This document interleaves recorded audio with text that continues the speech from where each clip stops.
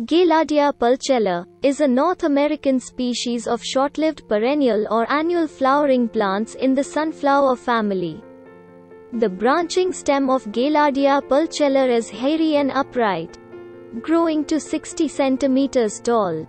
The leaves are alternate, mostly basal, 4 to 8 centimeters long, with edges smooth to coarsely toothed or lobed. It has a hairy stem, simple or branched near the base, where the leaves are essentially located towards the bottom of the plant. The pinwheel, daisy-like inflorescences are 4-6 cm in diameter, vividly colored with red, orange and yellow and is surrounded by 10 to 20 fleurons ligulate three lobes. The central disc florets of the flower head tend to be more red-violet, with the outer ray florets being yellow.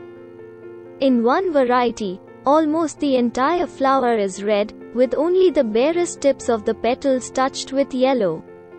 It blooms practically year-round in some areas, but more typically in summer to early fall.